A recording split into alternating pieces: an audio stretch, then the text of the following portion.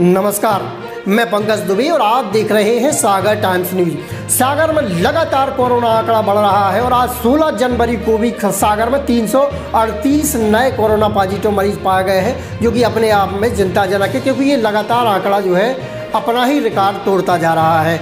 और सबसे अचरज वाली बात यह है कि सागर में लापरवाही चरम पर है, लोग मान नहीं रहे हैं, चाहे आप चालान काटो या कुछ भी करो। इसलिए आंकड़ा जो है थमने का नाम नहीं ले रहा है। दमों में कुछ कंट्रोलिंग हुई है दमों में आज अड़तीस पॉजिटिव आए हैं। आप देखिए दमों में आकर स्थिति कैसे संभल रही है। वो सागर क्यों पिछड़ रहा है? सागर में लगातार आंकड़ा दुगनी स्पीड से आखिर बढ़ क्यों रहा है? जनता की भीषण लापरवाही की वजह से हम आपसे फिर अपील करेंगे और अपील का कोई असर होता दिख नहीं रहा है। शासन प्रशासन भी कर रहा है। मैं भी लगातार अपील कर रहा हूँ, लेकिन लोग मान नहीं रहे हैं। नहीं मानोगे तो मैं बता रहा हूँ, सागर की स्थिति जो है बहुत खतरनाक हो सकती है। तीन सौ अड़तीस अपने आप में बड़ा आंकड़ा है और लगातार मरीज़ बढ़ रहे हैं। हालाँकि चिंताजनक बात इसलिए भी ज़्यादा नहीं है क्योंकि लोग ठीक होकर के डिस्चार्ज भी हो रहे हैं और ऑक्सीजन की कमी जो है अभी तक देखने को नहीं मिल रही है सागर में। सुनिए डॉक्टर उमेश पटेल ने कोरोना मरीजों की डिटेल में जानकारी दी है। नमस्कार, मैं हूँ डॉक्टर उमेश पटेल, मीडिया प्रभारी, बुंदेलखंड मेडिकल कॉलेज सागर।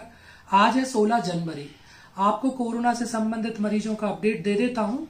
आज हमारी बीएमसी की फिलो ओपीडी में सतासी कोरोना संदिग्ध मरीजों को इलाज दिया गया है। आइसोलेशन वार्ड में आज चार मरीज़ हैं। हाई डिपेंडेंसी यूनिट में आज 12 कोविड पॉजिटिव मरीज़ इलाजरत है। आईसीयू में आज कोई भी मरीज़ नहीं है।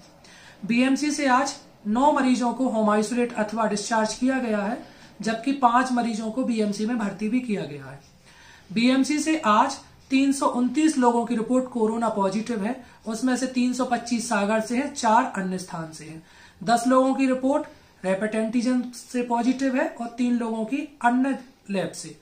कुल मिलाकर सागर में 338 लोगों की रिपोर्ट कोविड पॉजिटिव है। सावधानी बनाए रखें, लापरवाही नहीं बरतें। कोविड से संबंधित लक्षण आने पर तत्काल अपने आप को आइसोलेट करें। चिकित्सक की सलाह लेकर उपचार लें। वैक्सीन अवश्य लगवा लें, वैक्सीन सुरक्षित है। धन्यवाद।